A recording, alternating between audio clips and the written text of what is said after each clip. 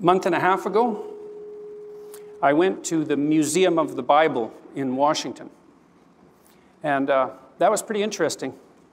It's a really good museum. I, if you ever go to Washington, I would highly recommend it for what that's worth. Um, it's very carefully done, uh, very comprehensive.